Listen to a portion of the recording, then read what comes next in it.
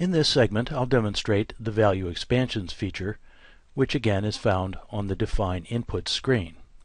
Taking a small risk at being possibly a little bit confusing, I want to just jump ahead a little bit and uh, put this into context and look at if we were to generate test cases without doing a value expansion on taxable. I want to just take a quick look at what the result would be. What would a test case actually look like in that instance. And what we see here is that the first test case, the ship to state, would literally say taxable. It wouldn't be a specific state name.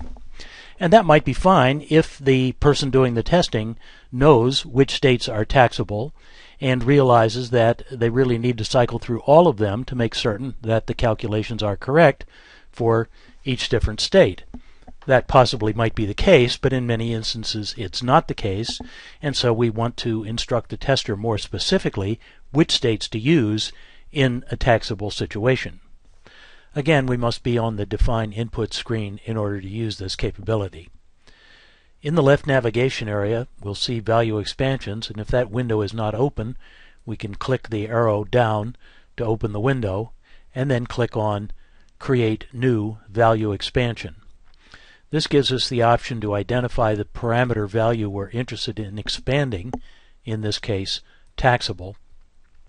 We then can enter the values that will replace the term taxable in the individual test cases, and those will in this case include Kansas, Kentucky, New York, North Dakota, and Washington. Notice also that we can elect to use these evenly, meaning that in each successive test case, the first case will include Kansas, the second case will be Kentucky, and so on. Or we could introduce a bias if we wanted the ones nearer the front of the list to be used more frequently than those further down the list. In either case, in this case we'll use evenly.